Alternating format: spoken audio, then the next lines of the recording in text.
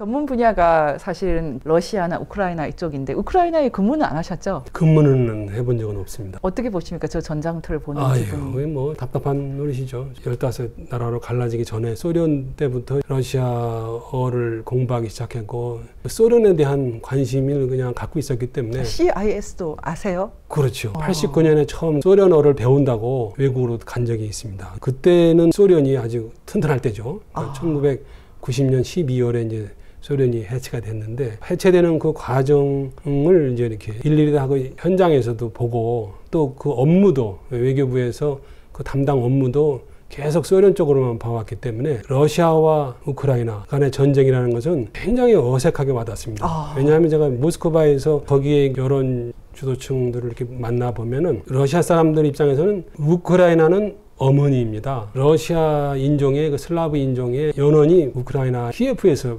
발상이 됐기 때문에 아. 이 러시아 민족에 있어서는 키예프 음. 즉 우크라이나가 본향입니다. 그런데 그 본향인 형제 나라, 어쩌면 어머니 나라와 지금 전쟁을 하는 거라 그 러시아 지성인들 사이에서는 엄청난 지금 갈등을 느끼고 있을 것입니다. 모스크바에 근무하면서 그걸 직접 들었던 거 바이기 때문에 그 우리가 지금 상상할 수 없을 정도의 그 고통 속에 지성인들이 있을 것이라는 것을 저는 충분히 생각을 해볼 수 있습니다. 러시아 사람들 속에는 사실 러시아, 우크라이나는 딴 나라가 아니겠네요. 그렇습니다. 그 형제라고 보고 어제 뉴스에도 보니까 동경에도 러시아 사람들이 집회를 하면서 아니 지금 형제 나라인 우크라이나와 싸워서 무엇을 하겠다는 거냐 그것이 피켓에 써 있는 것을 제가 봤습니다. 이 러시아와 우크라이나가 전쟁을 한다는 것은 예를 들어서 러시아와 뭐 조지아, 그루지아라 그랬죠. 예, 예. 거기와 전쟁을 하는 거랑은 또 이건 완전히 그 맥락이 다른 전쟁입니다. 러시아 민족의 슬라브 민족의 그 뿌리와도 직접 닿는 전쟁이기 때문에 뿌리를 뒤흔드는 것은 참으로 슬라브 민족에게 엄청난 이건 시련이자 큰 변혁이 될 것 같습니다. 근데 푸틴이 왜 이런 수를 왜 두는 건가요?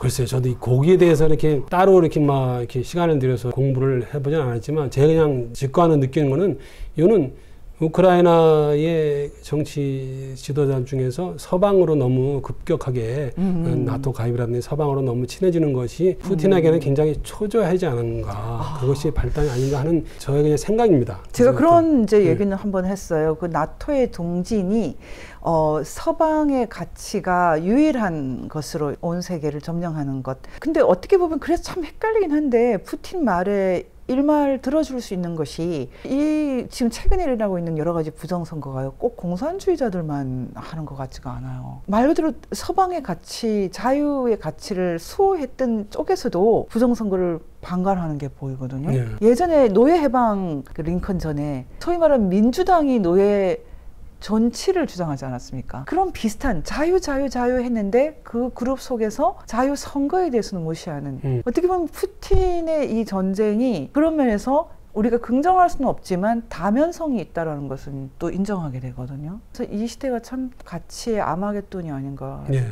우크라이나 가보셨어요? 그 우크라이나는 한 번은 가봤습니다. 예, 여행으로. 예. 아름답지 않아요? 아, 아름답죠 물론. 예. 아, 그 아름 그- 아름다운 땅이. 그렇습니다. 거기가 같은 슬라브 민족의 거기가 근원이고 1020년 전쯤에 최초로 그 키예프 강에서 세례를 받고 아, 그 슬라브 민족이 기독교 국가가 된 아주 역사적인 장소, 그 슬라브 민족의 근원입니다. 우크라이나에도 평화가 오고 어, 북한 땅에도 평화가 오는 것이 예, 진정한 의미에서 예. 예수 그리스도의 물결입니다.